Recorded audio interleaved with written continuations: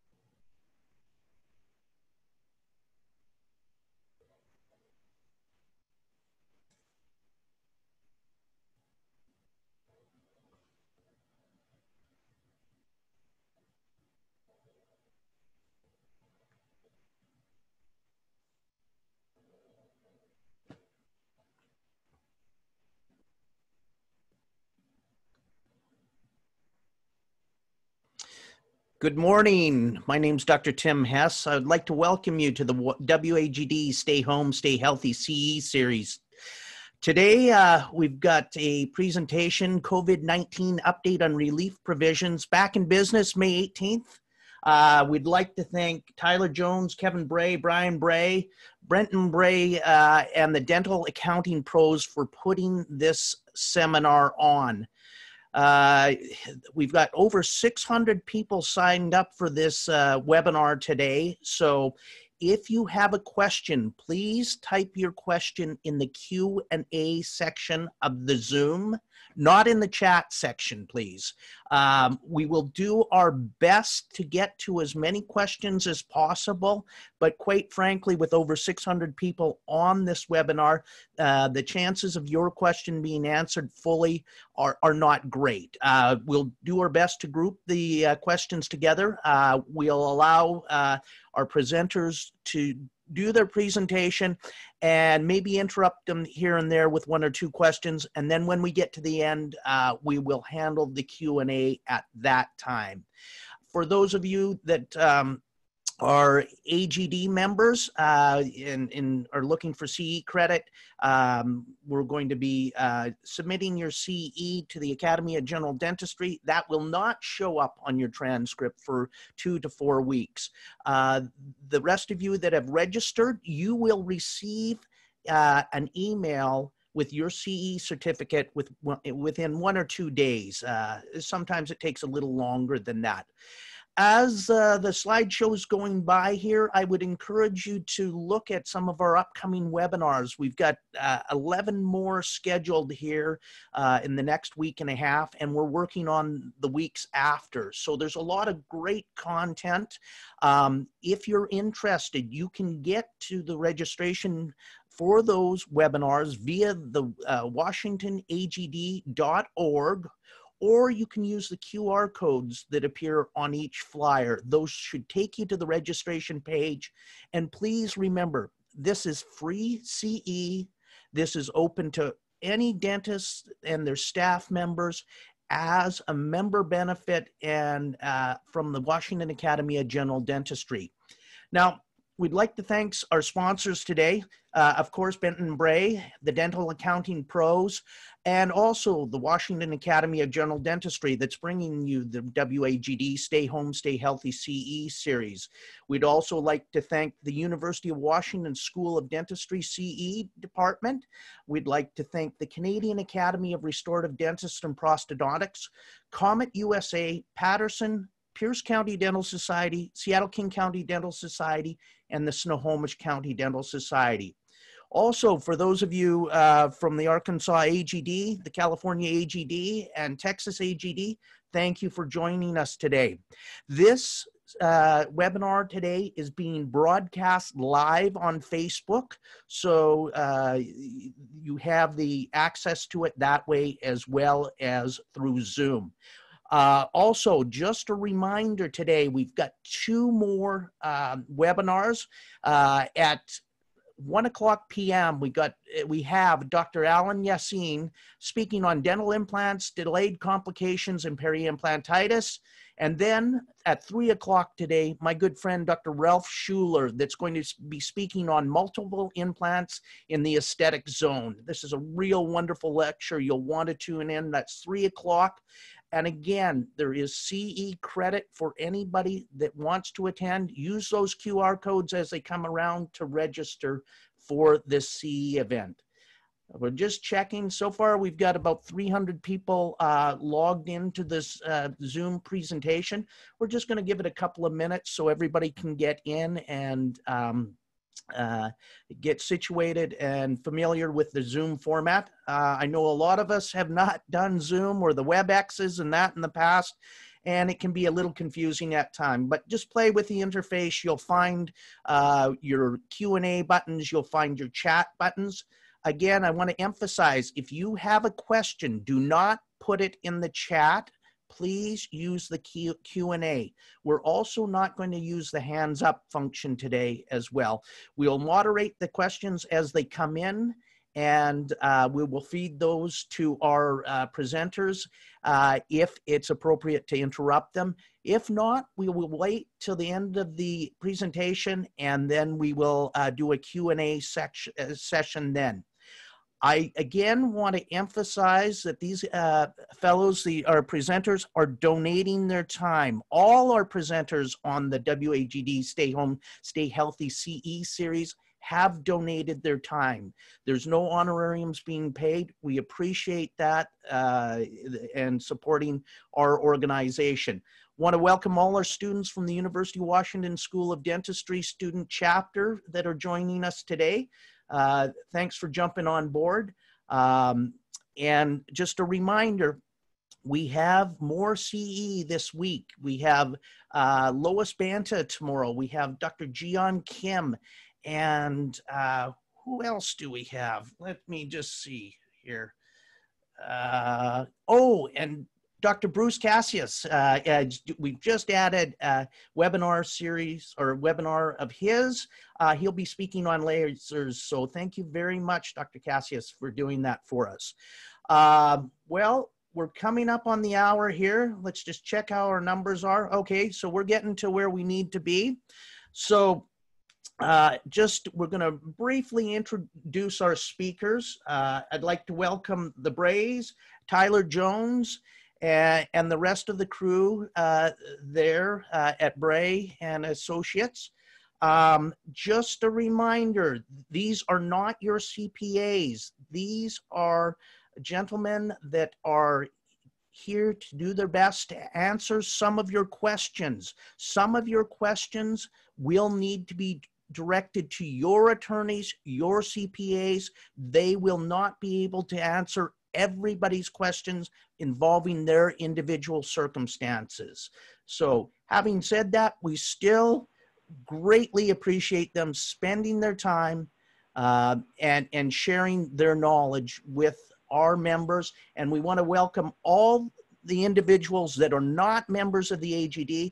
We invite you to join the Academy of General Dentistry. We have some great uh, webinars coming up. We have some great uh, CE programs once we get past this COVID 19, um, uh, I guess you'd say pandemic, because that's what it is. So, uh, with that, I'm going to stop sharing my screen. And I want to welcome Benton and Bray and the Dental Accounting Pros. And thank you again, gentlemen, for donating your time. Please, if you have questions, your questions go in the Q and A uh, area, not in the chat area. Uh, thank you very much. Welcome, Brian, Kevin, Tyler.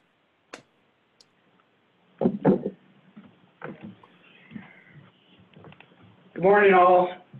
Give us a sec here to share the screen and we'll get going.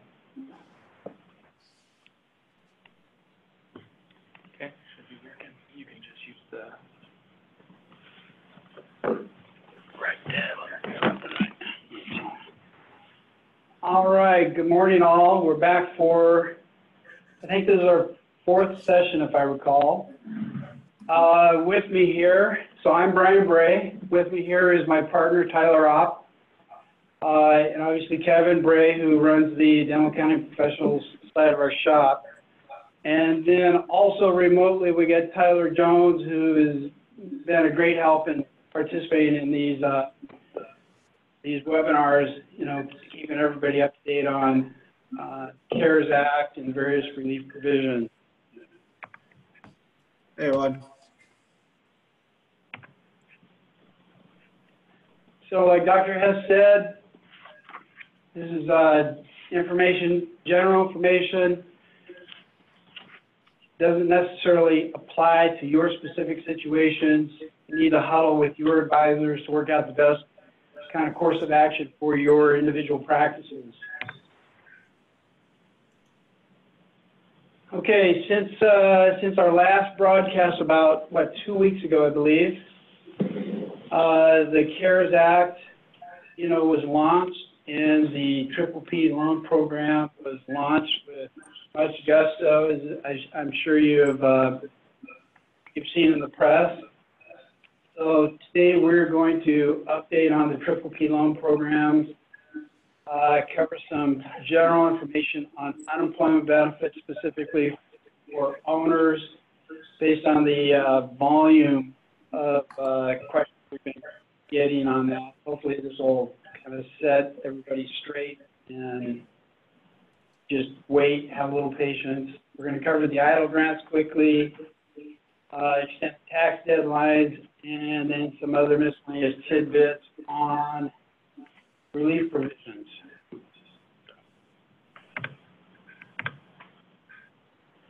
Okay, we're going to jump into the Triple P loans, the Paycheck Protection Program loans.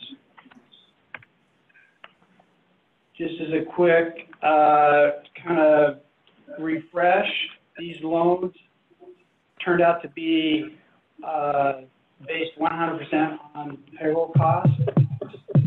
Uh, as, a, as, as all of you who have actually applied for the loans saw through the documentation, it was a 2.5 X, your average monthly payroll cost. Uh, the loan proceeds are actually allowed to be used for payroll costs and payroll-related benefits, some payroll taxes, rent utilities, and interest on certain debt obligations. Lenders, as uh, I'm sure some of you have run into uh, and experienced, uh, have been overwhelmed with volume of applications, but seem to be cutting through the application process rather quickly. Uh, some of the key dental lenders in our area here, we've, you know, heard have turned off accepting applications, or I should say taken a pause, and, you know, allowed their team to get caught up on applications and uh, then, you know, continue to accept new applications. Wells Fargo in particular basically shut down, and I believe as of today, they're still, they're back up now, accepting applications? I'm not sure. Not sure. Um, I know it was frustrating for all of you to have been in close communication with your bankers and, you know, wake up the next day or a few days later and getting ready to, to submit your trip P loan application, only to find out that the bank has taken a pause and was not accepting it. There are a few online banks uh, that are being referred out uh, I also encourage you to check with your local community banks. We have found a few here in the Seattle, Bellevue, Everett, Tacoma metro area that uh, have stepped up and are taking triple P loan applications, even from non-existing customers. So quick update uh, that was published yesterday. You know, so where where are we with the triple P loan apps that have been approved? Uh, SBA puts out a report about every day, every other day. The report that came out yesterday reflecting loans through April 13th or Monday a little over a million applications had been approved, totaling about 248 billion dollars of the 349 billion um, bucket of money. Based on our back of the napkin math, uh, it calculates out to 20 to 25 billion per day is what's being uh, processed and approved. So that leaves uh, about a week uh, left to uh, exhaust the $349 billion bucket of money. We're going to come back later and talk about what Congress, you know, and what the folks back in DC are doing about that. Uh, our big focus today is going to be is going to be on the um, the payback and the forgiveness part of the triple P loans. Up until now, it's it's been on you know the application process with banks, and I'm sure many of you have learned it's been basically gathering your payroll reports. Uh, about a week ago, there was some false starts onto you know regarding how the average monthly payroll numbers were calculated. Treasury issued some clarification on that, and all of us got on board with uh, calculating those monthly payroll amounts correctly and consistently across, I would say, pretty much, pretty much most of the lenders, right? Yeah, I think many of the lenders are still using outdated formulas, but for the most part, we've been able to kind of reason them into uh, our interpretation of, and it's not just our interpretation, the AICPA's interpretation and the Treasury's interpretation of how this is supposed to work. So some of the smaller banks, quite frankly, um, have still been, in fact, we just saw one on Monday that was still using the original calculation from two weeks ago, uh, but we got that straightened out relatively quickly. The, significance of that is that original calculation was uh, underestimating uh, your payroll cost by 25 to 30 percent. So it was wasn't just a minor error; it was pretty significant. But it seems to me most of the banks are on board now with uh, the correct calculation. Um, so the payback at triple P loans, we've got the forgiveness feature, and then the remaining balance turns into a um, a 1% two-year loan. Oh, I guess we should have updated this slide. Uh, slide here saying maximum maturity of 10 years from date of application. Sorry, guys, as we we missed updating this. It's actually now a two-year loan from the application of your forgiveness, and it's a 1% interest rate. You make a note of that and fix that. Uh, loan deferments, we're still looking at uh, deferment of the entire loan amount, loan, the monthly payment, at least six months, and lender to lender could be up to a year. So loan forgiveness. Uh, what has been clarified uh, by Treasury and SBA, uh, and there's been a lot of information out there over the, on the internet over the last uh, two weeks or week and the, the early week and a half uh, out on the internet and from other reputable sources talking about, you know, this eight-week spending window. And uh, Treasury finally weighed in and basically said you have eight weeks starting with the funding of your loan, which is what we always uh, figured out was the case. Treasury has confirmed that eight weeks from the funding of your loan, uh, borrowers do not have any latitude on choosing when that eight weeks begins. They can't defer it until they, their clinics are back open. It's eight weeks that starts with the funding of your loan. Treasury also came back and weighed in on the timing between the approval of your loan and the funding of the loan. It basically said that the loan has got to be funded within 10 days or no later than 10 days from the approval of your triple P loan. So there, there's a question as to whether or not that's the approval from the bank or whether that's approval from the SBA. For example, when you get your E-Tran number, it's essentially been approved by the SBA. We haven't been able to clarify with any of the banks or the SBA, they haven't put out any information on which approval that 10 days is tied to. Right now, we're just assuming it's the SBA's date, which is that E-Tran date. Uh, but short story, you still have to take possession of the funds within 10 days of that original SBA date, we believe. Correct. And so for borrowers who have applied early and maybe have been a little surprised as to how fast the application and approval process has, has gone. Uh, we're definitely encouraging you to take advantage of that ten-day lag.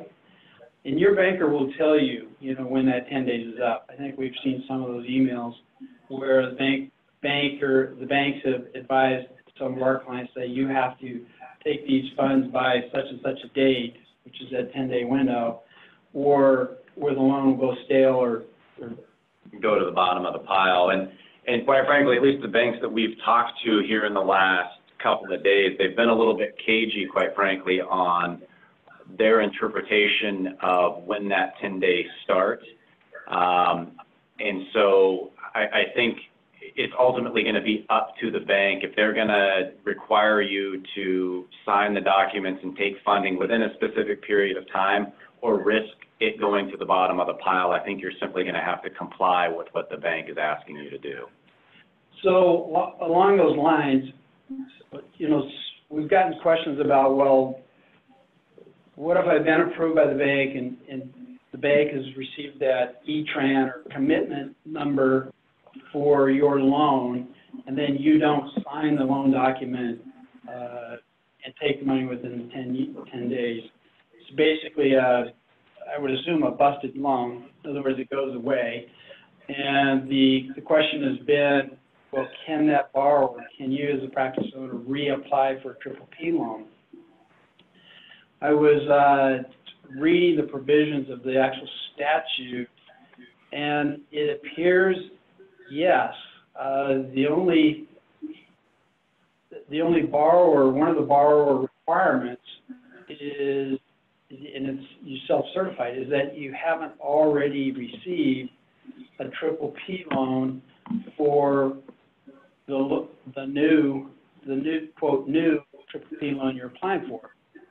So if you have applied for a triple P loan with your bank and the timing is, is messed up, you're getting your money way too early, and you just don't, you want that loan to bust, can you then circle back and, and go to, the bottom of the pile, as Tyler says, and, and reapply? I think the answer is yes. What we don't know is whether your bank will allow you to reapply after you've gone through the process, busted the loan, and reapply with your bank. Uh, or if you'll have to go reapply with another bank. We don't know. And SBN Treasury has not weighed in on that. They have not issued any guidance in that regard as, you know, if you kind of refuse to take your originally triple P loan, will, will they, by their, their edict, uh, uh, you know, prevent you from reapplying? Uh, this whole timing issue, you know, we've wrestled with this and we've had, you know, obviously in our prior broadcasts, we've talked about the timing issue. Uh, the timing issue relative to the start of this eight-week spending window. We've had lots of conversations internally here about the spending window and how that plays into the forgiveness feature. And, you know, without your clinic being open, uh, it makes it a very challenging uh, situation to to be able to get 100% of, your triple P loan forgiven, and potentially for really, you know, for those practice owners that apply it early, early on that have had their money for a week or two, uh, prospects for forgiveness of a substantial part of their triple P loan diminishes, diminishes. Uh, every week that your opening date gets pushed out. And we're going to touch about, touch on that as well, uh, about the, the stated opening date of May 18th and where, where it could end up. Just to, just to reemphasize as well, though, if, if you're prepared to receive your money and perhaps you don't necessarily want it yet, it's not a, it's not necessarily a foolproof plan to just deny the loan and, and allow it to go to the bottom of the pile. You still need, as a, as an owner, you're gonna have to weigh the risk on whether or not you believe that by going to the bottom of the pile, there's still going to be funds available when your application gets back up to the top. And at, you know, roughly 24, 25 billion dollars a day going out, if Congress does not re-up the pot, there's a pretty substantial uh, chance that that money ultimately will be gone. So ultimately, you have to make that decision on whether or not you're willing to, to take that risk and delay the funding by going to the bottom of the pile. Very important. absolutely critical. Um, you know, and it's, it's, uh, certainly stressful and, you know, a source of anxiety for all, you practice owners to watch what's going on back in DC with the, uh, politics as usual, uh, that we've seen back there for, several years now. Uh, in the arm wrestling over, you know, do we take care of small business America or, or does the political one-up, upmanship, you know, trump taking care of, uh, small business? I think it's no pun intended. Yeah. Uh, what, what, one final point here, again, the amount of the loan forgiveness so far is still tax-free. We haven't seen any further guidance on that. And everything we've been hearing from, like, our professional, our national association, the AICPA, and everything we've seen published by Treasury and SBA, is their focus for the last two weeks has been purely on the application and approval process of, of these loans, getting these loans out the door, getting the money out the door in the hands of business owners and, uh, ultimately in the hands of employees. Which has kind of left, quite frankly, a void in terms of the, the forgiveness component, which I think everybody, now that they've got their heads wrapped around the loan amount and what it's designed to be used for, the forgiveness feature is now kind of the, the topic of conversation. And unfortunately, because of the kind of the rollout snafus with the SBA and the Treasury, uh, they kind of viewed that forgiveness feature as a problem for eight weeks from now. And so there's just been kind of tragically very little information out there, very little guidance. Um, but we're, we're hoping and we're expecting that that's going to be issued here in the next week or two. Uh, the AICPA, our trade organization, has been working very, very closely with the SBA and the U.S. Treasury to try and get that stuff streamlined and, and done as quickly as possible. But as of last night, um, there, there's still just very little out there about it. Yep. So the point, what you're seeing here on the slide deck, uh, point here involving, you know, a, a reduction of the calculated forgiveness based on uh, a reduced number of employees uh, during your eight-week spending window and between now and June 30. And we have an example to kind of walk through some of this, some of these scenarios, you know, opening mid-May, opening um, June 1st, opening June 15th, and, you know, to put some real life scenarios, you know, uh, in front of you. But the, the calculation of these, you know, comparable full-time equivalent employees, both in number and pay amounts, is up in the air. Uh, as we've said in prior broadcasts, a lot of this, the CARES Act was thrown together quickly, and there's uh, provisions that, you know, one provision compared to another provision that don't seem to be, you know, congruent, that there's got to be additional guidance from Treasury and SBA to figure out how these numbers are calculated. Uh,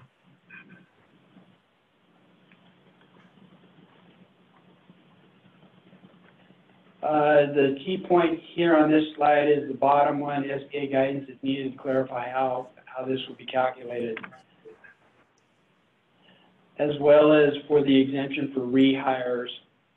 As we've talked about this internally, uh, and as we mentioned in prior broadcasts, there's, there appeared to be what I call a, you know, get out of jail free card uh, for rehiring all your employees June 30. But as we've talked about this internally and kind of debated where this could head, head, ultimately head, is in the context of the legislation. You know, Congress, the administration, Congress, uh, you know, and all the narrative behind the CARES Act has been uh, through the SBA, the government was gonna get hundred percent guaranteed loans in the hands of the banks. The banks then were going to be the, the regional distributors to the business owners, and the business owners were presumed were gonna turn around, and rehire all their employees upon receiving the CARES Act, you know, the SBA triple P loan proceeds. And, uh, in that scenario, if that, if that was the case, you know, even though the business wasn't open, that the practice owners rehired their employees and paid them to sit at home, that the loans would be forgiven. And this rehire exemption, uh, states rehired by June thirty. We think that's because that is the final, uh, the final date triple P loans can be issued. What we speculated on is, will this come back to kind of bite you in the rear? And will the, will ultimate guidance dictate the start, the rehire requirement with borrower's eight-week spending window? We don't know, but if that is the case, if that turns out to be the case, then the ultimate forgivable portion of these triple P loans is gonna be a fraction of what, uh, we're all hoping for. So said another way, just to clarify what Brian's saying, the statute says that you have to have your employees back by June thirtieth, but it is entirely possible, if not likely, that the Treasury and the SBA are going to modify that date to more sync up with the eight-week period um, of your, of your PPP loan. That being said, there's, there's some traps in there in terms of how the calculation, the mechanics of how that math all works that you just need to be very, very careful with and talk with your CPA to make sure you're not walking into a bear trap. Because last I, last I looked, you don't want to walk into a bear trap. It's very true. Yeah, that hurts. Rather have coke. All right, uh, in the weeks ahead, we're gonna see guidance on, uh, how, how borrowers will be applying for the forgiveness. We expect it to be fairly quick, uh, following June thirty. Uh, the, uh, Treasury and SBA and banks as well, quite frankly, because the banks are gonna want their, their money back in the forgiveness portion, uh, are gonna push to trigger the, the forgiveness phase of the triple P loans, uh, fairly soon, after June thirty. So in the fall, summer, late summer, fall time period. I, I think the statute actually says that you can apply for it immediately after your eight-week period. Now, whether or not the banks are gonna be set up and whether or not the guidance has even been issued by then for, for that calculation to be concrete, that remains to be seen. But at least the, I think the intent is that it's supposed to be a relatively quick and painless process right after you're done. Right. Hey, Tyler Jones, do you have any comments to add? Uh, you know, the only thing I would add is I agree with everything you guys have said. Um, two things is as I look at all the loan documents that my clients are showing me and having me review, I, I know one or two things. One is they're super simple and, and pretty benign. The only caveat I'm seeing that is worth noting is is that in almost all of them,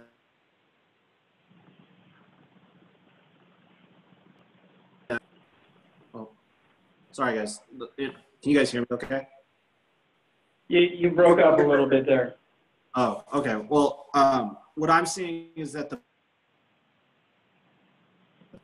sorry, um, what I'm seeing is that the banks are saying that um, you have to affirmatively they're going to put a 10 day window before the end of your eight week period that you have to go to them and seek uh, your forgiveness application. They're not, they're officially saying in their documents, we're not going to remind you to go and get your forgiveness application in.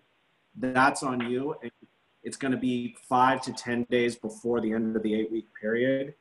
And I- would expect some more SBA guidance because, you know, I don't really know how you put an application in when you have 10 to five more days of time where you could be incurring payroll costs and rent expenses. So it's a little unclear what that application period looks like.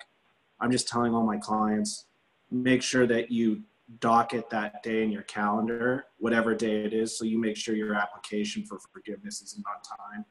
The only other thing I, I would say is that probably in the next two weeks, I think we're going to get formal guidance from the Treasury Department. It's pretty clear now that the two leaves that you get under the Family First Coronavirus Response Act, so the family medical leave and the emergency paid leave, those credits that we talked about, I think, two webinars ago, those you do get a credit for those on your Form 941, your quarterly employment taxes. And if you take that credit, it's going to impact the amount of forgiveness you get on your PPP loan.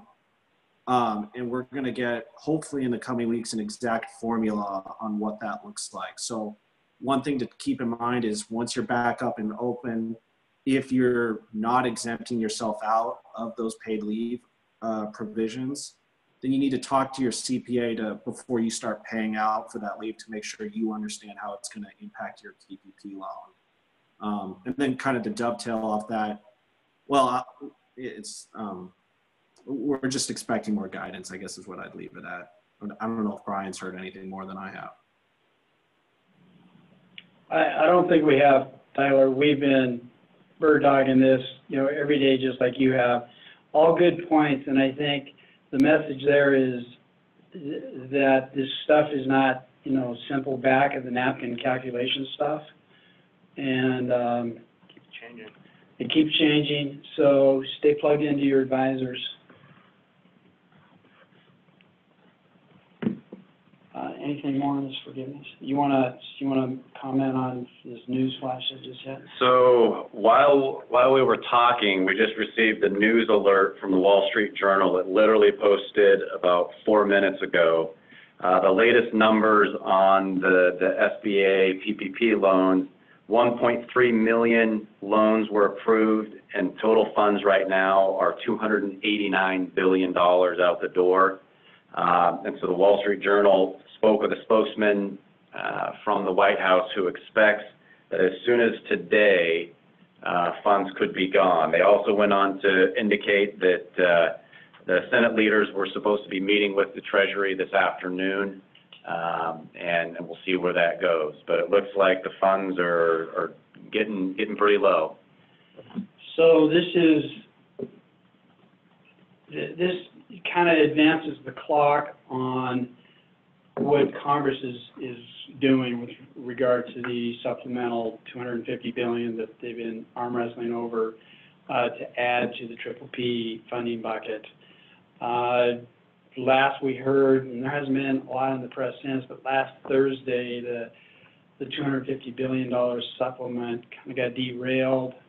Uh, Both sides of the aisle arm wrestling over uh, conditions uh, you know, earmarking portions of that 250 billion for select groups.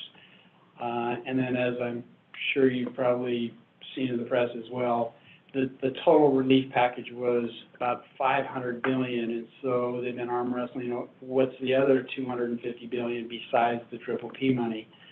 Uh, and there's been comments, uh, in the news about, you know, non-related COVID pet projects, or as I would call it, certain congressional members trying to hang ornaments on, on this relief bill. And so that derailed it last Thursday, but now with this latest news, obviously it, it puts, uh, more than a sense of urgency back in DC for them to, you know, move off the dime and get the, the additional, uh, relief provisions passed.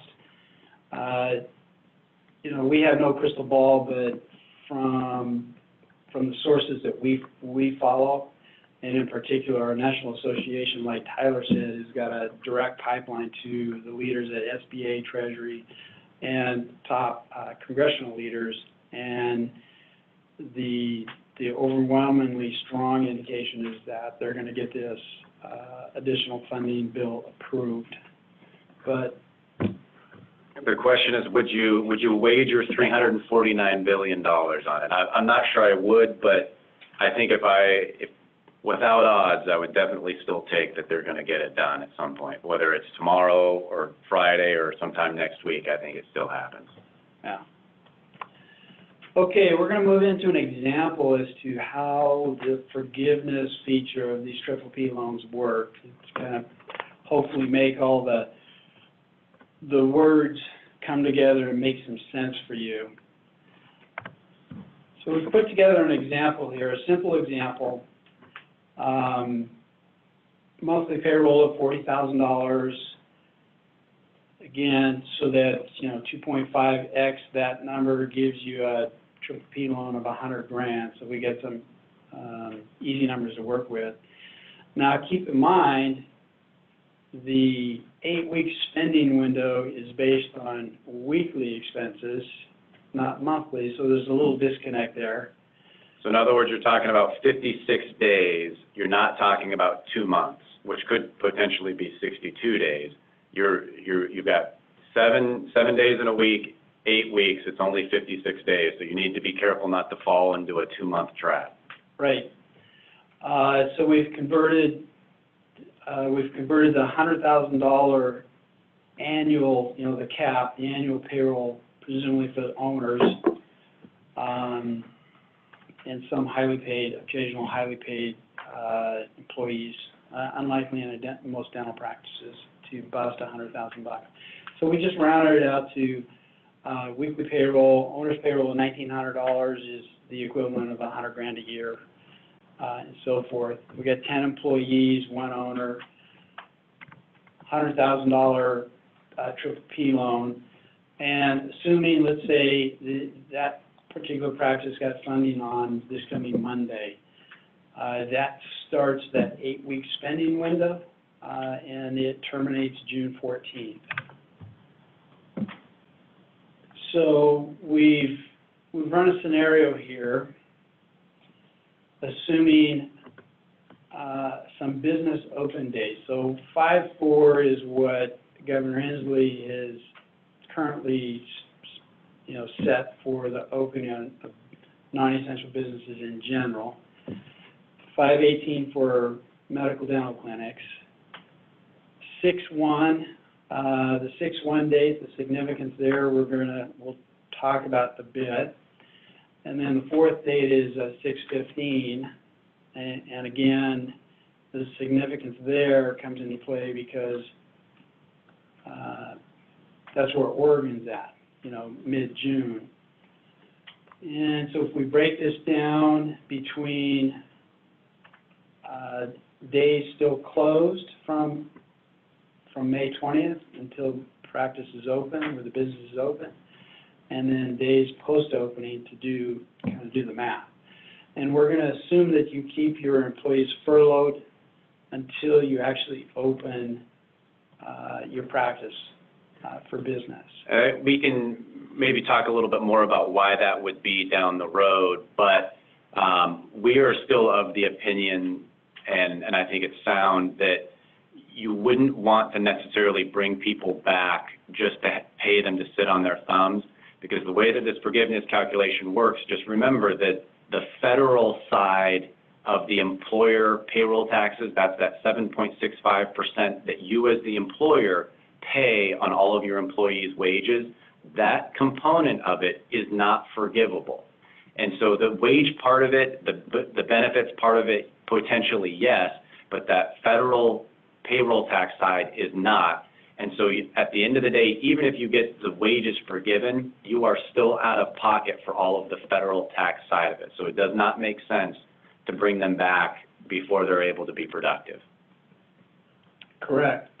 So just to translate that into a, simple number example, say you pay an employee a thousand bucks. So you got a thousand dollars of triple P money, you turn around and pay an, employee a thousand bucks. Uh, and so then it qualifies to be forgivable. And so a thousand bucks in, thousand bucks out for the practice owner, you know, it's a net zero, uh, zero, except as Tyler has mentioned, the practice owner has incurred the FICA and Medicare, the employer side of FICA and Medicare tax on that thousand bucks to the tune of almost eight percent. So it's actually a net out of pocket. You wanna walk through the payroll calcs? I'm not as familiar with them as you are, but. Okay, Well, up to you. Um, so, in this first example, we've got essentially you're closed for two weeks before you bring everybody back. In this scenario, as the owner, you would stay on your own payroll, whether you're a PLLC, S corporation, part of a partnership, doesn't really matter. Um, and then all of a sudden you bring all of your employees back, and so you've got basically six weeks worth of, uh, wages included in this number. If we assume that this number comes down to here, you've got, uh, bona fide payroll of fifty-nine thousand, you've got rent of ten thousand, you've got a preliminary forgiveness amount of sixty-nine thousand dollars. There's some calculations and there's some mechanics of what percent can be rent and non-payroll costs.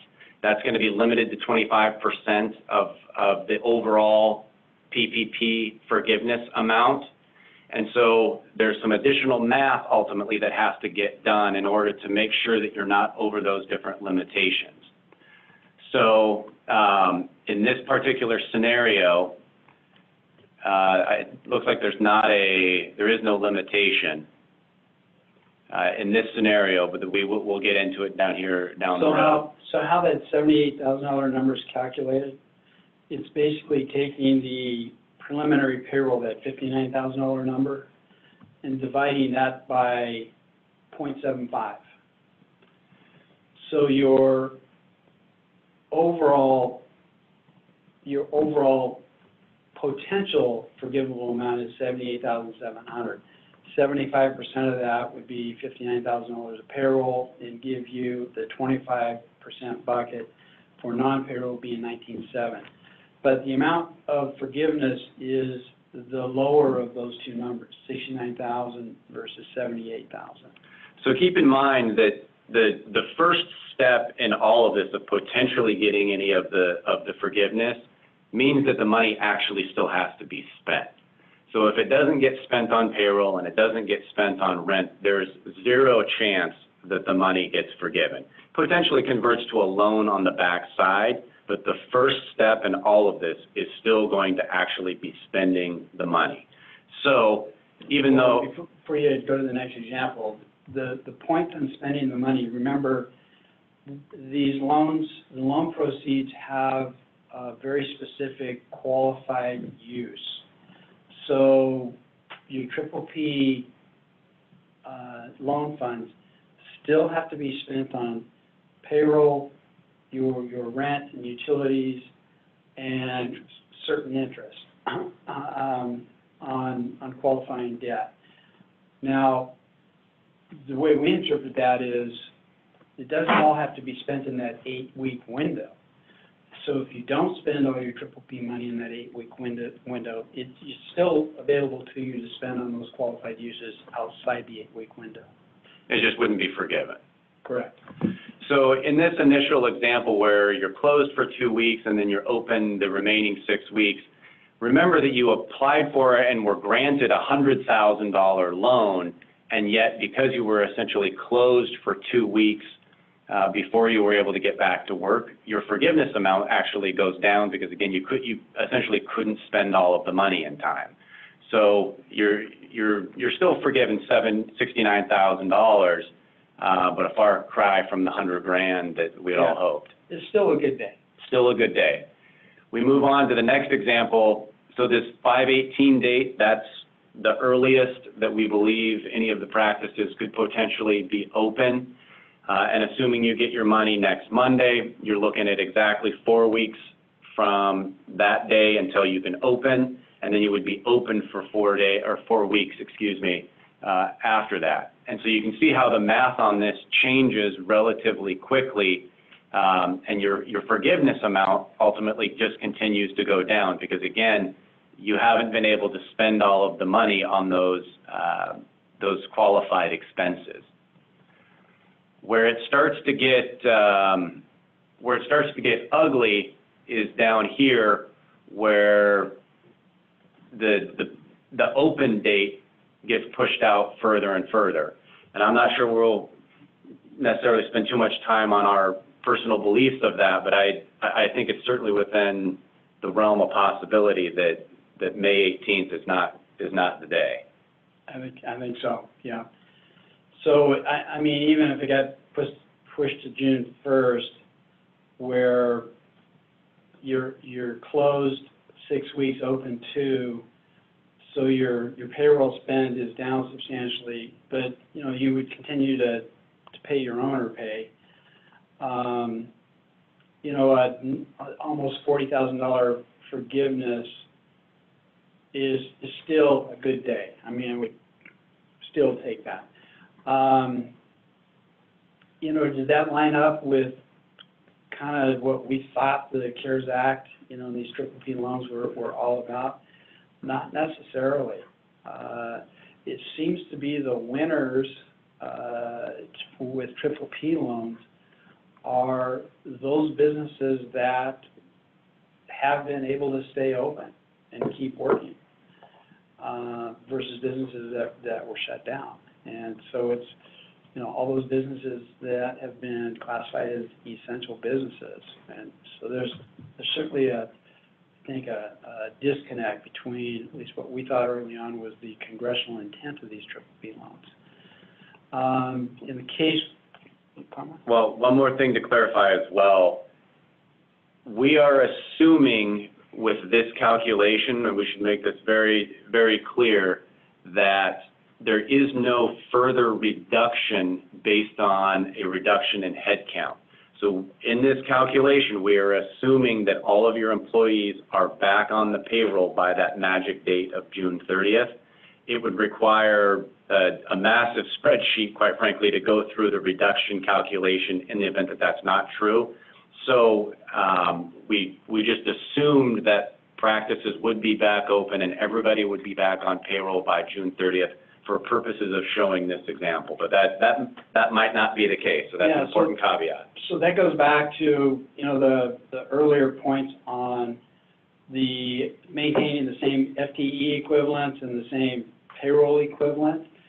And we don't know where that's gonna end up. We know what the statute says, and like Tyler says, that this example is based on what the statute says.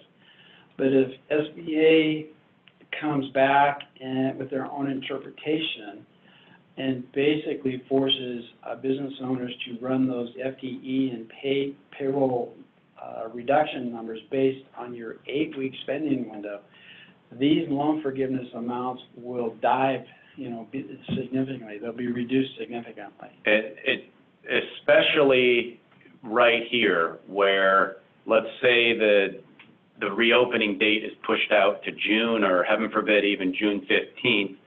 In the event that that happens and you did not bring back your employees, because again, we don't think it makes sense to if, if the practices are not open, the, these limits are gonna be essentially ten percent of this. So you'd, you'd be looking at a two thousand dollar, um, for- forgiveness amount as opposed to twenty thousand dollars. So the, still much to, much to be figured out with when that calculation has to occur. Uh, but, hopefully there's gonna be guidance coming on that relatively soon. It's a lot, I mean, as we mentioned earlier though, this is potentially a, a giant bear trap for the unwary. Yep.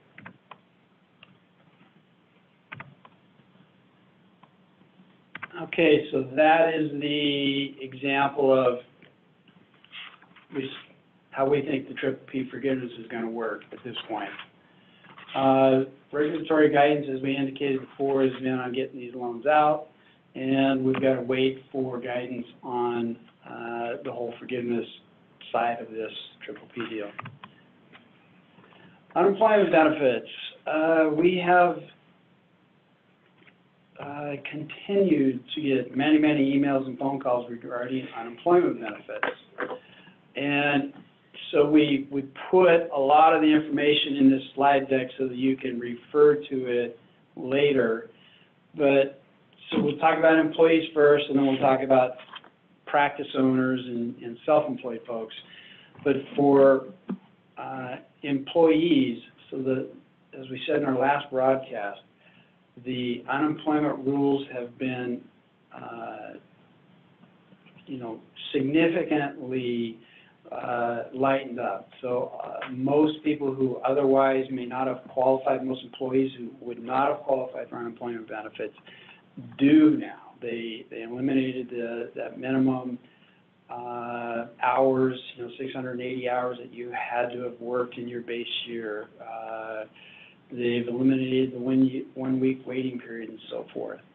And so Employment Security, ESD, has basically said, uh, if you go to their website, you'd find a lot of this information. For those employees that would not otherwise qualify for unemployment benefits, file, go online and file. You're gonna get a denial of benefits notification. Don't freak out over it. The, the uh, denial is based on their standard computer system, which does not reflect the emergency rules. ESD has been working hard to update their computer system to reflect the emergency rules and the CARES Act rules. And until they have that dialed in, employees, some employees are gonna get a denial of benefits claim. And, and obviously, that's gonna freak them out. They're gonna worry, like, now how am I gonna, you know, even get a little bit of money to, to get by while they're on standby unemployment. Um, once ESD has their system up and running, they're gonna go back and hand process all these uh, denial of benefit claims, um, get them approved and pay benefits retroactively. So for those employees, unfortunately, it's a, it's a cash flow challenge. You know, they're probably living off their credit cards. ESD has also asked for employees and employers not to call their claim center with respect to these denial of benefits uh, messages, because it's just clogging up their system. And I think I've, I've heard some folks trying to call ES, the claim center, and they just get a busy signal. So as of last night, um, the latest guidance from the ESD, which I would encourage you to sign up for their email alerts. They send a, an update about every other day on kind of where they are in the process. But as of last night, um, they're indicating that by the 17th, they could potentially be up for these expanded benefits. Want to cover practice owners? So for, if I had a dollar for every time I received a phone call or, or email about uh, whether or not an, an owner of a practice qualifies, I'd, I'd have enough to buy a case of beer.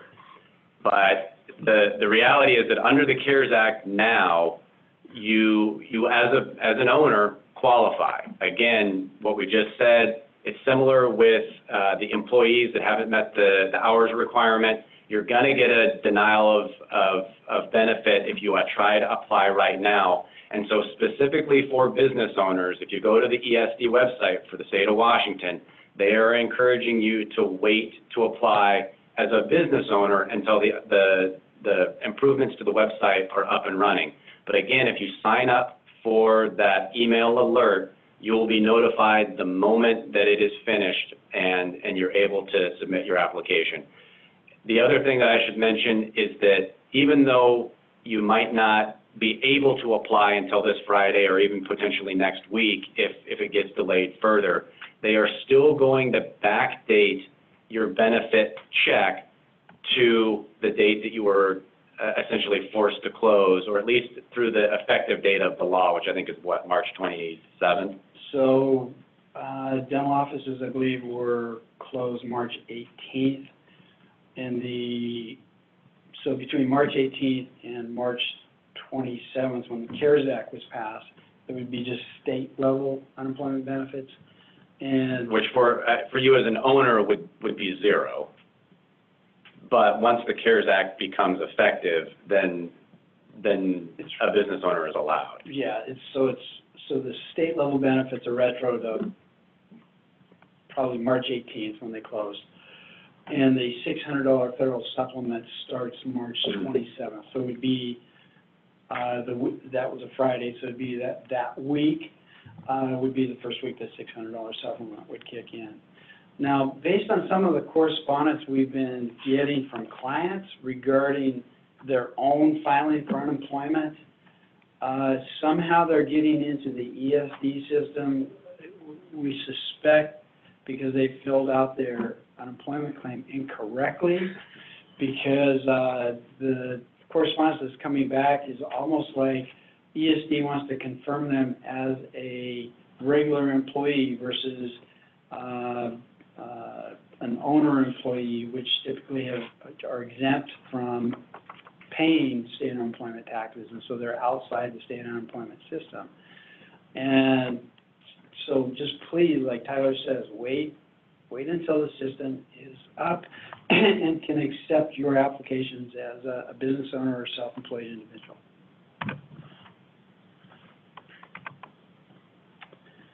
The EIDL grants, um, you wanna cover that? Sure, so it's been a couple of weeks since we've really touched on these. Um, we're actually starting to see some of these get funded now for some of our clients. The, the way that it was originally worded, we were kind of under the impression that everybody who applied that qualified was gonna get essentially a ten thousand dollar advance. Um, unbeknownst to anybody, the, SBA and the Treasury kind of just changed their minds ultimately on the calculation of, how they were gonna decide who got money.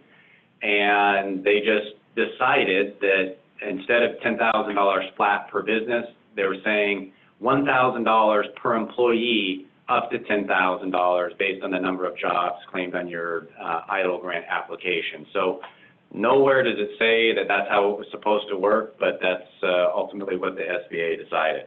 Yeah, And they're, they're sending, uh, email, email messages to businesses that filed for the EIDL grant, basically saying, hey, you know, we've, we've received your application, approved it, and explain what Tyler says, you, you're getting a thousand dollars per, per, uh, employee, actually on, the- I believe on the EIDL grant, it said how many jobs, um, does your business have?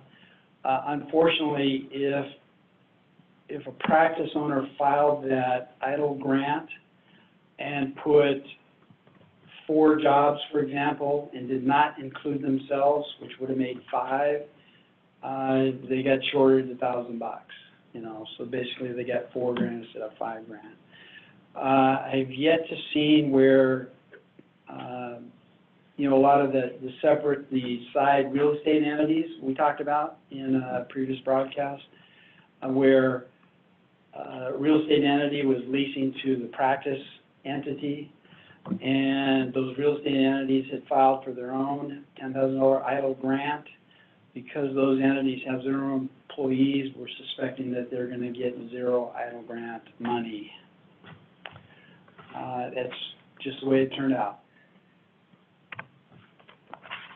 Uh, this is just a reminder of extended tax deadlines, uh, because we continue to get phone calls and emails from clients saying, hey, just want to make sure you filed my April fifteenth extension. Uh, and we've said this many times. Uh, all individuals, in, in, including trust entities, have an automatic extension to file their return and pay their balance of their twenty nineteen taxes until July fifteenth.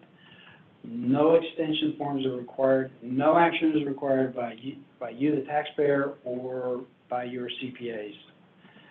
Zero, okay? So, nothing. Uh, all tax payments, uh, due April fifteenth, which includes your twenty twenty Q one estimated tax payment, are due April fifteenth. It's been pushed to July fifteenth. Since our last broadcast, we also got word that the 2020 Q2 estimated tax payment, normally due on June 15th, also got pushed to July. Uh, There are some other April 15th deadlines that got pushed, namely your IRA contributions, your HSA contributions, all got pushed to July 15th. Uh, We continue to monitor uh, the county and city and, state, other tax agencies like Department of Revenue, uh, I believe both for SUTA and L&I, so payroll taxes, B and O taxes and payroll tax, payroll taxes for the most part, have deferral options, just go to those sources to find out what they are. We know real estate tax payments have been extended out till, I believe, June one, so the April payment's been June one. Yeah, the only caveat there is that it's a county by county determination. Um, as far as, we know, well, we know King County for sure. Uh, we didn't go through and look up all other forty-something counties in the state, but it is a county-by-county determination that, and they ultimately have that authority. Okay. So for business owners, we have some additional uh, payment deferral options. Uh, One that's pretty sizable is the employer's side of FICA and Medicare taxes on payrolls through the end of this year are, are available to be deferred, interest-free and penalty-free. Uh, that could be a pretty sizable number. So, you know, building into your, your cash flow model, uh, this is just another place to squeeze a little cash out of the equation. Where, where this could potentially come back and bite you, though, is that if you have a PPP loan that is forgiven, you are then no longer allowed to defer those taxes. So for example, if you've been deferring those taxes even during that eight-week period, um, and then you decide to apply for forgiveness immediately following that, your ability to then defer those taxes later is, it goes away. You can't do, you can't do both. Okay, so say it another way. So starting today, let's say you defer your employer FICA Medicare, you get your PPP loan, you get through your eight-week spending, you get couple months down the road, you're back open, and let's say in August, you are applying for the forgivable portion of your PPP loan. What Tyler's saying is at the time your PPP forgiveness happens, you can no longer defer additional payroll taxes, you know, from August through the end of the year. You're not required to go back and, and then immediately pay the, payroll taxes that you had deferred for that eight-week period, but you can do no additional payroll taxes after the point in time in which your, your loan is deemed to have been forgiven. Right, right. So it's between now and that forgiveness date. Uh, the payback is pretty generous. It's half has got to be paid back by December 31, 2021, so next year, and the other half the following year. Uh, state, city, and county level taxes have generally been deferred, as I mentioned. B and O taxes, both state and many of the cities have, uh, you know, allowed a deferral mechanism and a deferral of a, a payment, and each has their own kind of payback kind of structure. Uh, they're not forgiving them completely, it's just a deferral. Uh, I assume, we assume, but we were looking to confirm it this morning, the personal property taxes, you know, so the personal property taxes that businesses pay on their, on their equipment, their desks, their computers. Uh, normally, there's a payment due in April. It got deferred. It got deferred, so we confirmed it was deferred. But interestingly, the, the personal property tax affidavit forms, which are due in April, at least as of yesterday, had not been deferred or extended. So unless that's changed today,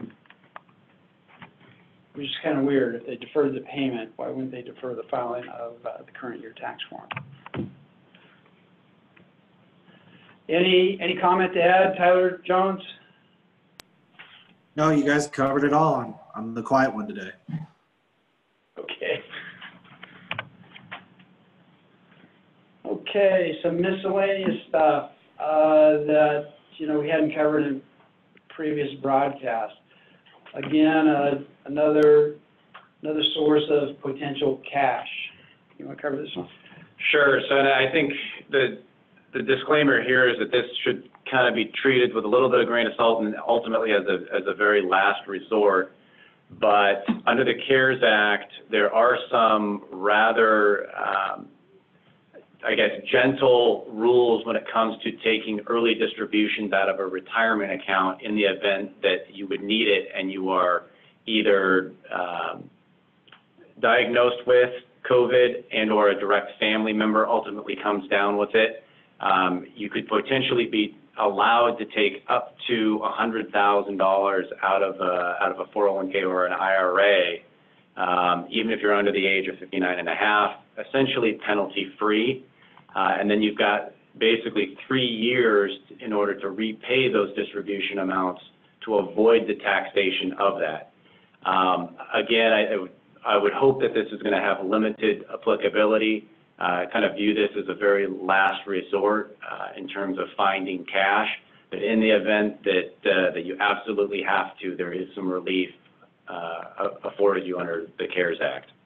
Well, and one of the, the qualifying triggers to be able to pull that hundred grand out of retirement plan or IRA is if your place of business is closed, um, you know, due to COVID. And under the governor's mandate, we- certainly, uh, check that box. Uh, Like Tyler says, retirement monies, it's so hard to, you know, save retirement monies, to pull them out of those retirement funds um, it, is just gonna be difficult to get them put back in those retirement funds. So as a kind of last ditch, last bucket of money to, to go tap into.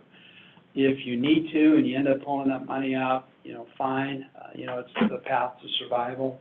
You, uh, have the option to spread the taxation of that hundred grand over three years and/or uh, the ability to pay part or all of it back within three years. Status of uh, add-on relief legislation. This is, this is where we sit around the table and stare into our crystal balls and kind of debate what the heck's going on and what we think is going to go on. Uh, We're still of the mind uh, more likely than not that we're going to get additional funding for triple P loans. We could be completely wrong on that, uh, but that's kind of where we see it. The, the whole narrative back in DC from day one uh, of this coronavirus disaster that, that, you know, on one hand, you know, the pandemic and the physical loss, the, the human loss, but the, the financial impact on our economy, the world economy, and I keep, keep hearing the echo of, uh, that saying, you know, the, the cure can't be worse than the cause. And we talk about this every day, about the, the risk of, of small business America, uh, not being able to come back from these business closures. And certainly the more they extend, uh, these business closures, the harder and tougher it's gonna be for some, some small businesses, especially those that were on, uh, you know, very thin financial footing, you know, didn't have three to six months of working capital stuffed away, uh, for the rainy day. Or, uh, you know, our new practice owners that just bought a practice within the last, uh, six months, six months to a year and, and have a, a mountain of debt that you, you've got to, you know, service, um, and, and get back to work. So with, with the backdrop of that and the administration and Congress's kind of at least vocalized intent that they want to save small business, we think that they're going to open their wallets and keep throwing money at it. Uh, that's, that's at least our speculation at this point. Uh, I think, given the, latest news on how fast the remaining three hundred and forty-nine billion, uh, is, is kind of getting approved in loans and, coming down to the last buck in that bucket, that's gonna put pressure on Congress to act, and I think we're gonna see, uh, see stuff in the news come out today, tomorrow. And I wouldn't be surprised if we had, uh, this relief legislation passed by the end of the week. At least my take. You have anything to add to that? I, I think given the over, overwhelming popularity of the PPP, given that it's kind of the first thing of its kind that's directly aimed at small business as opposed to, you know, massive corporate America, I think it, it, it's got a positive narrative and it's been so popular and, and businesses have flooded to it.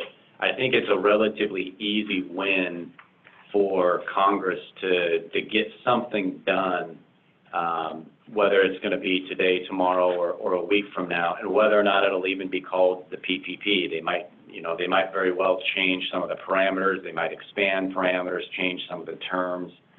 Um, but I think ultimately, given the, the state of where we are and potentially where we could be headed, that obviously more money is going to be needed. And I think Congress, both sides, you know, left and right, have, acknowledged that there is an issue and are willing to open up the wallets to kind of do what it takes to, um, stem off the tide, um, at, least, through the election. Yeah. So some, uh, some interesting stats on the, uh, PPP loans that have been approved and funded. And I'm, working off of the, uh, $248 billion number that was last reported yesterday. Washington State, uh, approved dollars were just under 5 billion out of that 248 billion. Uh, states like Texas and California were around 20, 21 billion. And then the other interesting stat that I find is the percent of triple P loans for healthcare.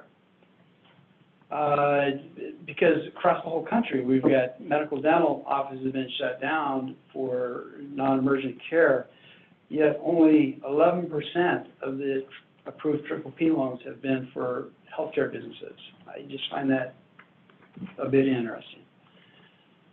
Uh, Tyler Jones, any commentary?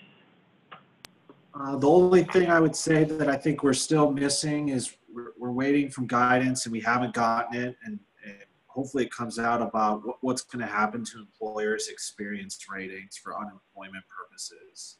Employment security, I think, has been buried as they kind of build up being a conduit for the self-employed and business owner unemployment portions that are going to start coming out hopefully in the next few days. So we still haven't received any guidance. Um, I wrote a letter and have some calls out to a senator's office about it, a state senator. So um, hopefully we'll hear something uh, to tell us what's going to happen to employer experience ratings for purposes of the unemployment in a post COVID-19 world. I don't know if Brian or Tyler off have heard anything. We, we have not, but that's, that's a good point. Uh, you know, as I've said, said it before, uh, the powers to be are making the plane as they are flying it. Okay, let's talk about when will business op- reopen again? It's, you know, this is a topic of concern certainly in our office. We talk about it every day. We keep eyeballs on uh, Governor Inslee's uh, press conferences as well as the press conferences uh, coming out of DC. Um, so we've got we've got the, the the politicians and the business owner biased politicians, and then we have the medical uh, folks like Dr. Fauci. Fauci and the um, head doctor here in, in the Department of Health, Washington State Department of Health. I don't remember his name, but the the the doctors are all kind of saying, "Hey, we got to push this opening date." You know, and I get that purely from a, medical point of view. You know, they're ignoring all the rest of the collateral damage. You know, financial and small business wise and so forth they're they're kind of pushing this message of um, uh, we need to stay stay closed and follow the social distancing for uh, a period longer than certainly May 4th. So, you know, if, if we were kind of betting on that, I would I would probably bet uh, June 1st is I wouldn't be surprised if the governor came down and pushed the date to June first. Uh, the, the other indication is that, I'm sure you've all heard, Washington, Washington, Oregon, and California have formed a, the governors have formed kind of a coalition of, uh, hey, we're gonna open up the West Coast, uh, uniformly.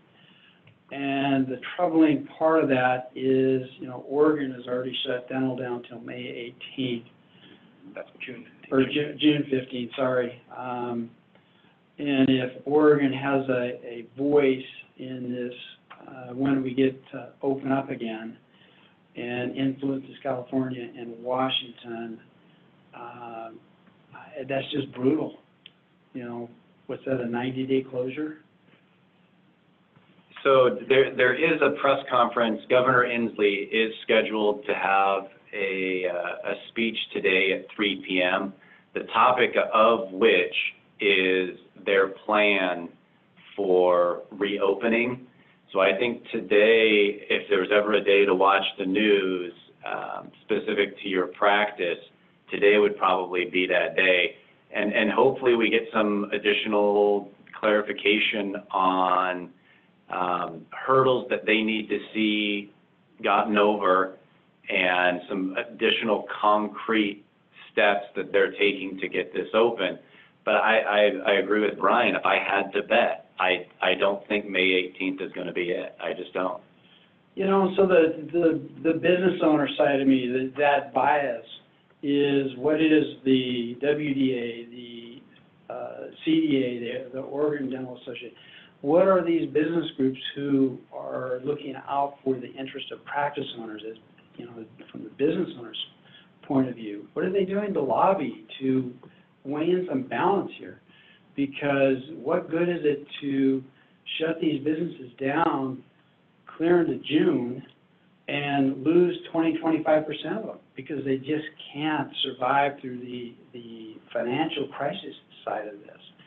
Uh, to me, that just strikes me as, not a winning proposition. And so I, I would be one to vote for the, our, organizations in, in, dental, that'd be WDA, AGD, all the way down, you know, to start lobbying for the sensible solution.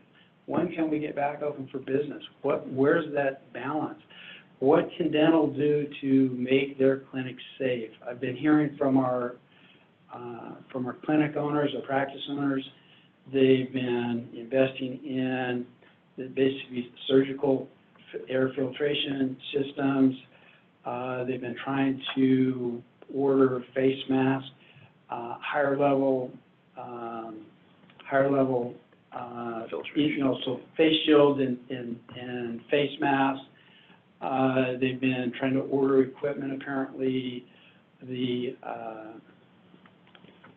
uh, mirrors with, uh, suction devices that reduce the amount of aerosols. At, at what point does that come into the conversation, say, hey, uh, Washington State Department of Health and the politicians, here's what we're doing as an industry to make our clinics safer so that we can get back in business sooner. And, I- and I think that's part of the conversation. Maybe, uh, needs to, that volume needs to be turned up some. At least that's, that's from my point of view as a, as a business owner and representing business owners.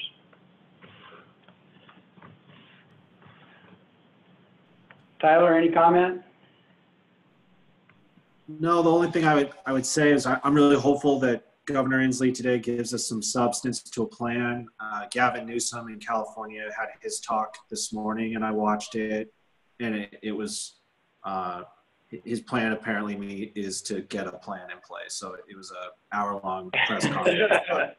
His plan is to get a plan, which I, which I don't disagree with. He should have a plan to get a plan. But, um, you know, hopefully if we're all acting in concert with Oregon and California, uh, Governor Inslee will have a little bit more substance today. All right, guys, are you ready to answer some questions? Sure. Um, We've got a lot of questions and please uh, understand, we're not going to get to all these questions.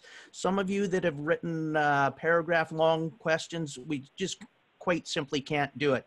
Gentlemen, please feel free to let these, uh, answer these questions with, uh, uh, that's something for your CPA or attorney. Uh, We, we're not trying to put you on the spot here.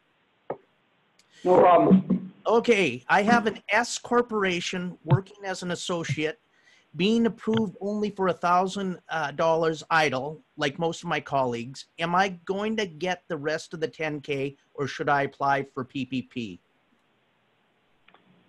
Uh, no, you're not likely gonna get the rest of the ten K. Uh, As we said, a business has got one thousand dollars per employee. Uh, but that, that associate who has set themselves up, uh, with an S corp and and that S corp is paid as a ten ninety-nine independent contractor, that S corp does qualify to file for a triple chemo. Okay, thank you. Okay, uh, what is one of the correct ways to do calculation of payroll costs? And I think the doctor here is uh, looking for whether they are calculated in with those payroll costs. I think that's one you need to huddle with your uh, CPA, your own kind of math wizard. Okay, There, there has been some additional clarification on what is included, and, and owner wages and owner compensation definitely is included in that. Um, there, it's, it's a little technical on how you get there. It's probably a better question for the CPA, but the short answer is their own wages are allowed. You know, unfortunately, we've seen a number of, of uh, docs run those calculations uh, themselves and uh, underestimated the number, undershot the number, which, you know, ultimately, you know, hurts them and their, what, what would be available to be forgiven. So it's not necessarily, uh, hasn't been necessarily a straightforward, simple calculation. And, and I'm not saying that just because we need more work, because we definitely don't. Uh, but it is something you probably need to huddle with your CPA with. The only thing I would add to that is that a lot of the banks, especially some of the non-national ones, they're like two or three weeks back on the guidance. So when they're getting PPP applications with owner draws or owner comp in them, they're pushing back on that, saying it won't be allowed. If you go to the SBA website, there's a really great FAQ that basically says that owner comp is allowed. So if you do submit your application for and you have owner comp in there, uh, and your bank balks at it, uh, point them to that FAQ. And I've seen that kind of get over the hurdle with some of the uh, uh, banks who are maybe 10 days behind the regulatory guidance. does the, does the Paycheck uh, Protection Program include 1099 employees into consideration? If so, what documentation is required? It does The, the answer to that is no. Uh, each individual independent contractor would need to apply for their own PPP loan. So if a practice does not have W-2 employees and instead uses 1099s to pay uh, their workers, that it's, that- that's ultimately going to come back to bite them. In other words, a, a borrower or practice owner's PPP application is based strictly on their W-2 payrolls. Thank you for that clarification. Um, Let's see. If things are slow and I can't max out the p- payroll, can I give my employees bonuses so that my rent plus utilities don't exceed the 25% limit? Well, so there's, there isn't enough guidance, I think, to definitively say that one way or the other. Uh, There's been some, at least some um, opinions out there from different CPAs that kind of indicate that they are going to try and right-size payroll. In other words, you won't be able to pay Christmas bonuses early or, something like that. There's nothing in the statute that says you can't do that. It's still going to be limited on an annual basis to a hundred grand uh, per employee. So there's there's nothing that specifically prohibits it, but we're thinking there's going to be some sort of guidance out that is probably going to curtail a, lot of the games that could be played. So, so to say it another way, if a practice owner has unspent money, let's say it's uh, thirty thousand dollars, and you know that thirty thousand dollars otherwise would not be forgiven, so they say, hey, well, if I pay my employees that thirty thousand dollars, if I give it to them, it's like quote free money because I'm going to get it forgiven from the government. Can they do that? We don't know yet. That, that, that strikes me as, as gaming the system. And like Tyler indicated, I think we're gonna see further guidance from Treasury and SBA on all those, uh, hopefully, all those kind of questions. All right. We are a husband and wife dentist that practice together under one FEIN number as a sole proprietor. We have separate Schedule Cs. So for the PPP loan, can we request to borrow up to $100,000 each as shown on our Schedule C? I, I think the answer is yes, you would have to apply and have two separate PPP loans. And assuming income on each of those is over $100,000, yes, you could add uh, $100,000 of owner compensation to that calculation. plus employee compen, W-2 compensation. Correct. All i- right. into the calculation. It's, it's not a PPP loan up to $100,000. it's the equivalent of two and a half months of that hundred thousand dollar number. It's factored into your triple P loan amount. Okay. Does eight weeks begin the day the loan was dispersed? Yes, Okay. all at once, yes. Uh, let's see. Uh, uh, I'm not sure if this has been addressed, but has the i- is the EIDL also tax free? The, we think so. The, the ten thousand dollar advance, we believe is ten, is, is tax-free. If they go on and get an actual EIDL loan, that's just a normal loan. Have you seen affirmative that the grant is tax-free? I believe so. Okay, all right. It does not have to be repaid, no. Doesn't have to be repaid, but But it, it also, it comes off of the, the forgiveness amount, um, for the PPP loan. So I, I think by definition, it would then be tax-free. tax-free, but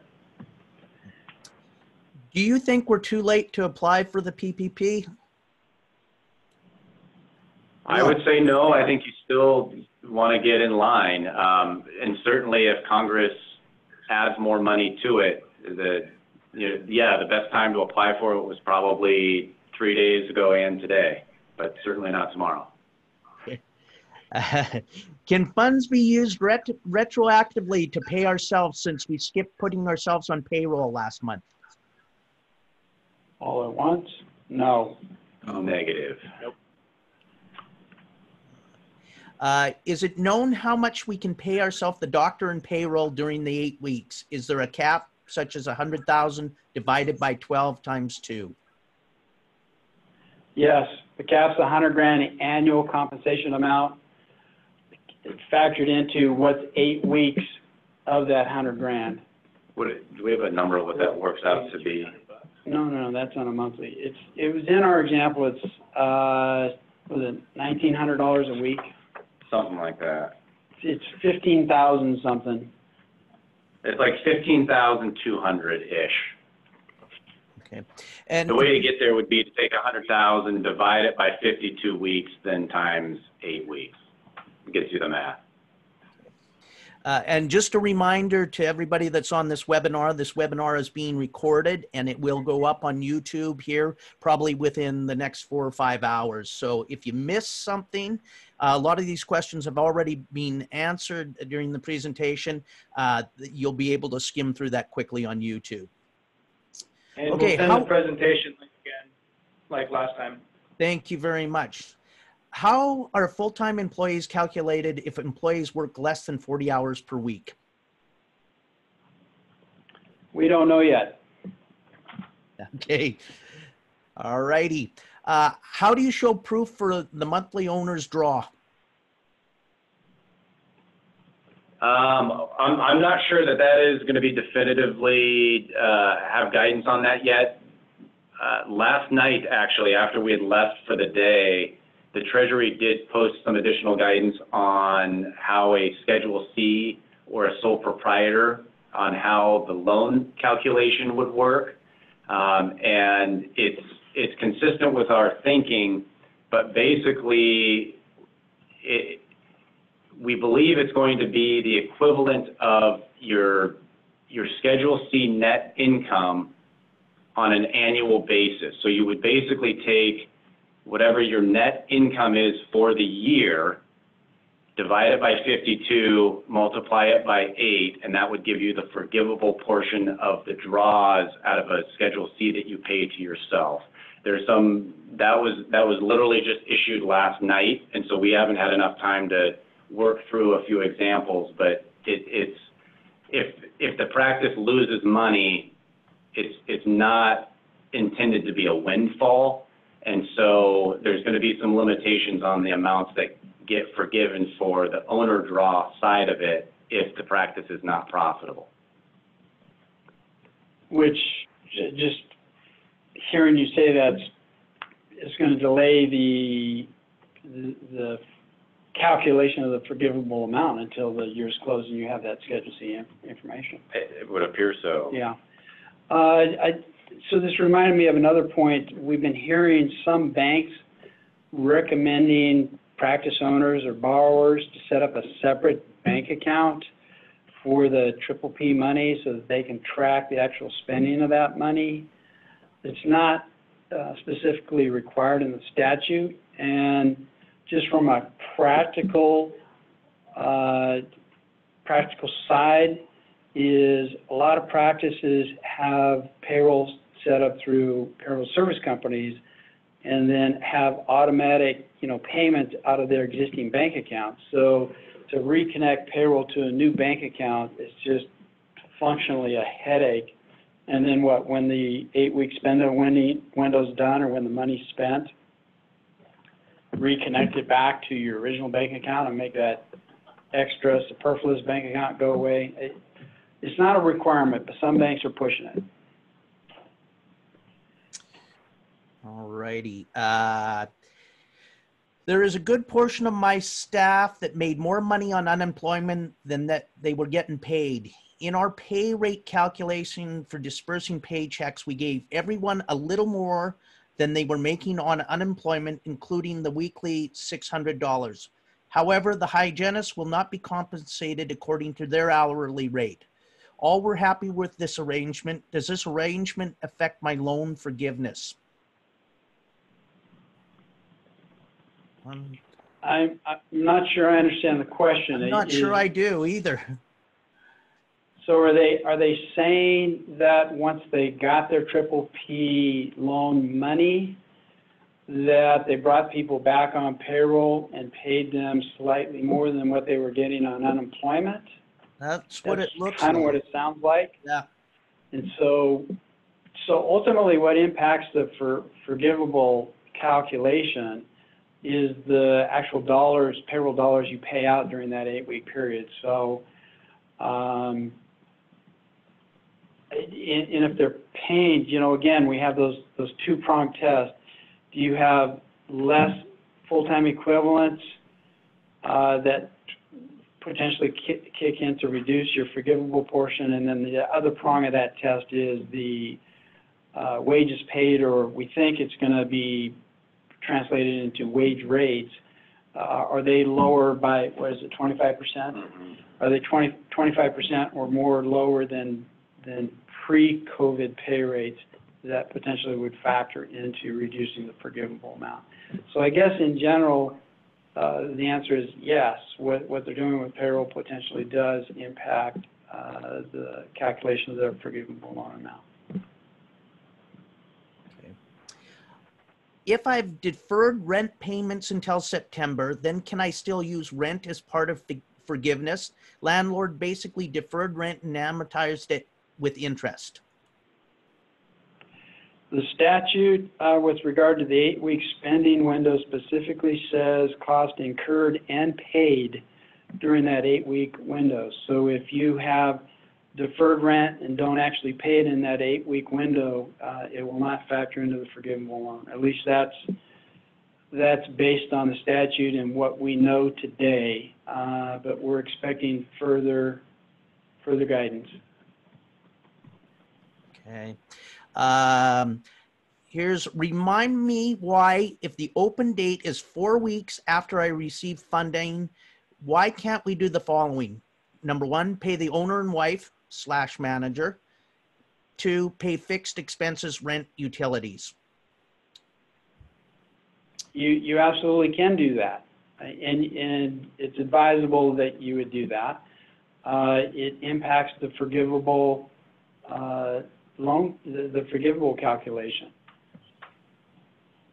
But you, you absolutely would. As soon as you get your triple P money, you would pay yourself, and if your wife is on the payroll, if the spouse is on the payroll, you would pay them as well. And you would pay those other qualifying expenses. And then once say four weeks out, the business is uh, allowed to open again, you bring the rest of your employees on, and you obviously pay them. Uh, We, we showed that in the example, just work through the example. Uh, Another comment on this eight-week spending window, keep in mind that in order to satisfy that paid requirement, uh, business owners are likely going to have to run an, what's called an off-cycle payroll to capture that payroll running into the very last days of the eight-week period. What if you hire additional employ- employees? Would that qualify for forgivable payroll? Yes. I, I believe so. The, uh, the way that the calculation works is, let's say somebody leaves for an unrelated COVID reason, um, you could certainly replace that person, um, and, and those qualifying payroll costs should qualify. Yeah, there's no prohibition against increasing the number of your employees and increasing your payroll. And again, it's payroll in that eight-week period. So I, I think the answer is absolutely yes. I think so. What happens if employees come and work for a few hours a week for unemployment benefits? Uh, seventy-five percent of what they make in that week will reduce their state level unemployment benefits. So if their state level un- unemployment benefits are four hundred bucks and seventy-five percent of what they made that week is hundred dollars, their state level benefits will be reduced to three hundred bucks, and then they'll get the additional six hundred dollar federal supplement on top of that. A Uh, lot of questions about uh, applying for unemployment if they've already been denied. And, and I think you've answered this. They, they need to reapply when the website is up and running again. Is that correct? Absolutely. And when Yes. when Kevin gets the slide deck sent out, we intentionally put the details of all that in those unemployment slides. Just review those slides. As Tyler here indicated, sign up for the uh, email alerts for when their system is up and reflecting the emergency rules. And, um, yeah, practice owners, quit hurting yourself with the employees nagging questions about, hey, I got denied benefits, what do I do? And then everybody goes and tries to call the claim center and sits, sits online for two, three, four hours or gets a busy signal. Okay. Are dental clinics operating within uh, Washington Technical and Community College that routinely see low-income and DSHS patients eligible for some kind of grant? Um, I, I'm not sure, what's the question? if I- they work for like a community health clinic or something like that, or a tribal clinic, do they get any kind of special extra grant? I'm, I'm not aware of any. Tyler Jones? Uh, non, it, it would depend on how the clinic is set up and how it got its tax exemption, but nonprofits are specifically mentioned as eligible for PPP. And if you are an employee of it and you were laid off, you, you could go through the usual unemployment channels. I, I'm not aware of anything specific to nonprofits that would have a limiting effect on their ability to get funds. Uh, and uh, same here. I, I haven't seen anything, but I, and I haven't seen where they qualified for anything extra either. Do Washingtonians qualify for the weekly $600 federal unemployment benefits? If yes, how and where do we apply for it? Well, it depends if you live on the west side or east side of the state. Of cour- of course, of course, Washingtonians qualify for the six hundred bucks. Now, keep in mind, like we've said, the CARES Act special unemployment provisions have not been built into the ESD computer system yet. So be patient. They've told us, they've broadcast, wait till the eighteenth to apply. Uh, and once the system reflects the emergency rules, those, those six hundred dollar supplemental benefits will be paid retroactive back to when an employee or a practice owner qualified for them. Okay, I just want to clarify again that the business, personal, and property taxes are not deferred and still due on 4/30/2020, right? Huh? Yeah, I Re- don't, re- Say, say, say that again, Dr. Hess? The person, I just want to clarify again that the business, personal and property taxes are not deferred and still due on 4/30, 2020. Is that correct? Real estate taxes in King County and many of the counties in the state have deferred the real estate tax payments until June 1st. Uh, believe that's also the case for the personal property taxes. B and O taxes uh, have been deferred, and the deferral schedules are different depending on if you're a monthly filer or a quarterly filer. So they just need to go to those specific sources, go to DOR website or the county website, and look at the specifics with regard to the payment deferrals. Uh, getting lots of thank yous here to you guys. Really appreciate it. So that's nice to hear.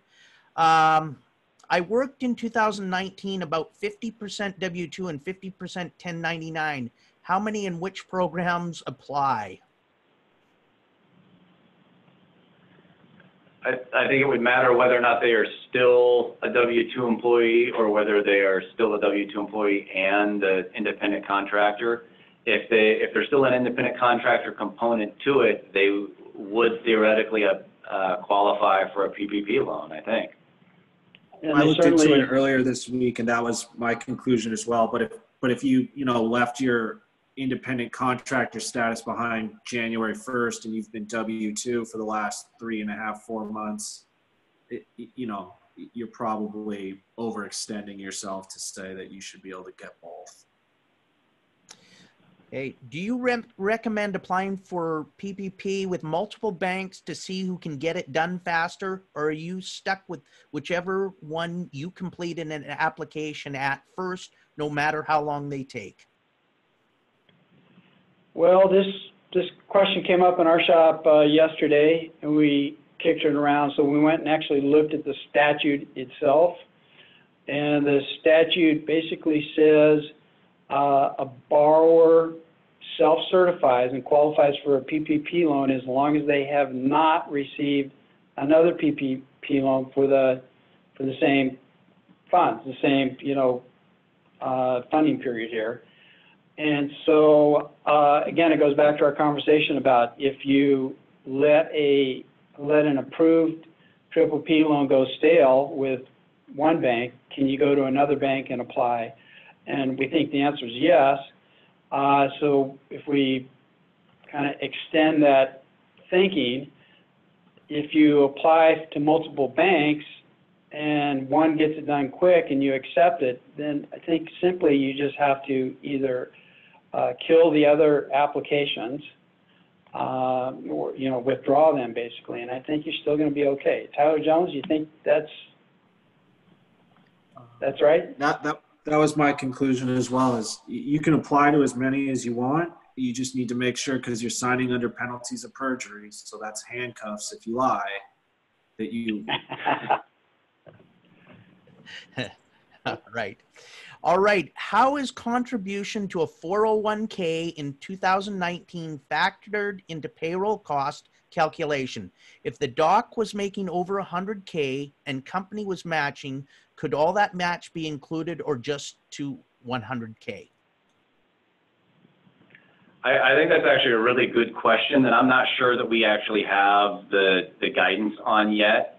Um, we've seen a few scenarios where uh, for for docs who have, for example, like defined benefit plans that are potentially a couple hundred thousand dollars a year, how does that get included in the PPP calculation? And uh, it's not it's not abundantly clear yet. And so I think that the Treasury is going to be issuing some guidance on that.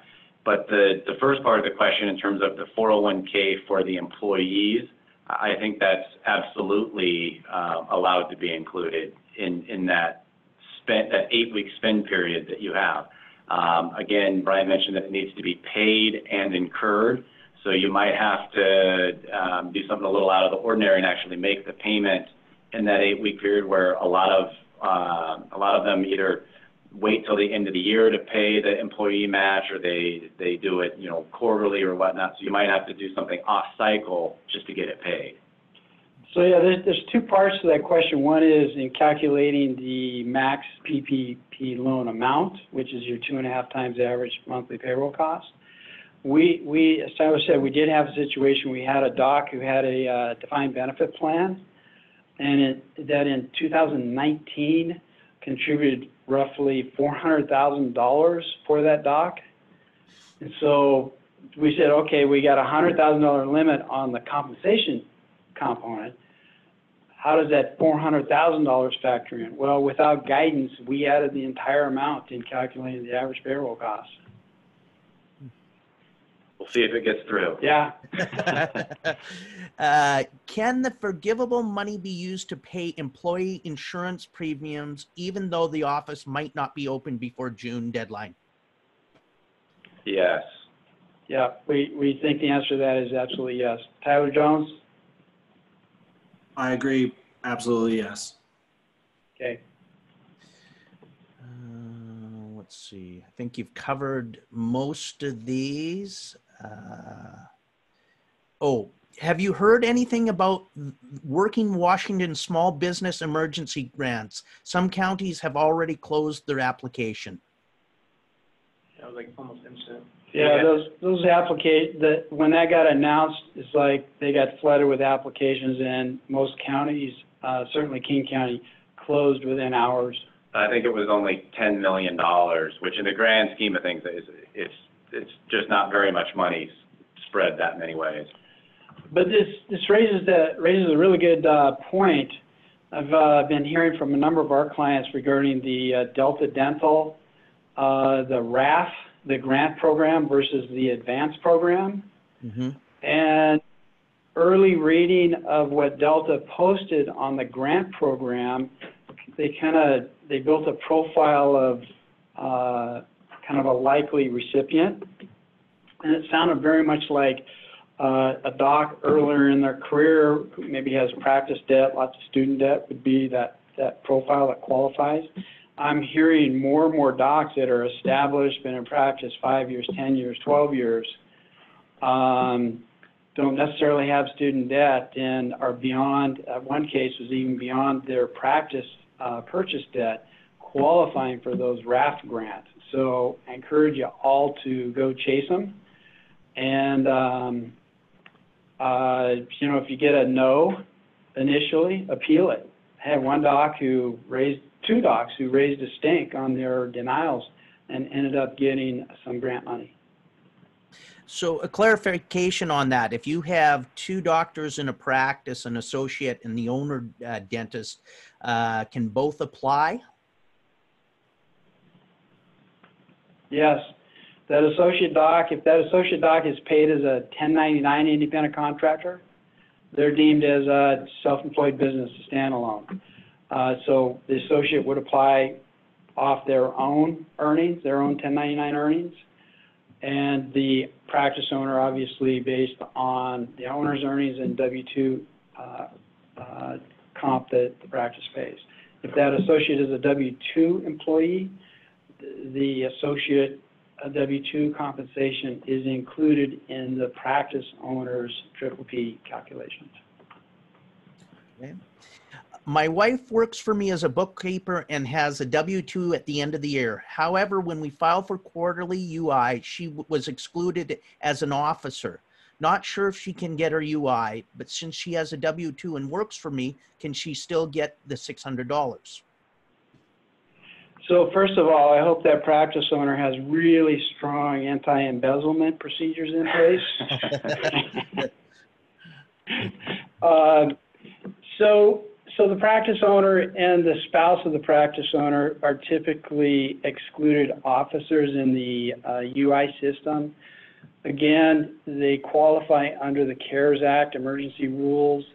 Wait until April 18th, again, as ESD has specified, and then go apply. Okay, another clarific- clarification uh, question here. If we don't use all the PPP money in three weeks or eight weeks, pardon me, we just pay remainder at 1% interest with six months deferred. Yes? Y- Yes, what doesn't get forgiven turns into a two-year loan from the date of the forgiveness on that portion that is forgiven. So the balance then turns into a two-year loan, uh, 1% interest. The deferral, the, the deferral starts when they get their loan. So if uh, the bank is only giving them a six-month deferral, so say they get their triple P money today, and exactly six months from now, they get the, that portion forgiven, the, the balance will be a two-year loan from that point, you know, with monthly payments due. Now, depending on the size of the loan, let's say you get, you know, fifty percent forgiven, say a hundred, hundred thousand dollar loan, the fifty thousand dollar loan that's gonna be paid back in two years is get a pretty healthy monthly, you know, payment, just because of the short-term nature of it. Okay, if Inslee pushes back the day past May 18th, how does PPP change? We can't use the funds and lose everything? Question mark. PPP does Well, con- refer back- change. Or sorry. So uh, basically, if uh, uh, Inslee changes the date from May 18th, say to June 1st, and somebody has that PPP loan funded right now, are they going to be able to use any of those funds? Yeah, go back to the example in the slide deck when it gets sent out, uh, because we did build an example around that. The, the forgivable amount is, for the most part, going to be limited to compensation to the owner and/or owner spouse if they also work in the business, uh, and a portion of their rent and utility payments.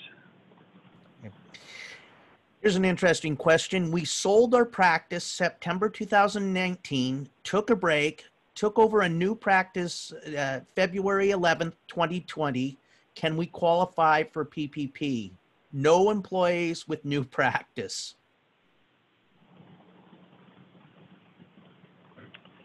Uh, well, one of the requirements is that you had to be in business February 15th, so they just snuck in under the wire there.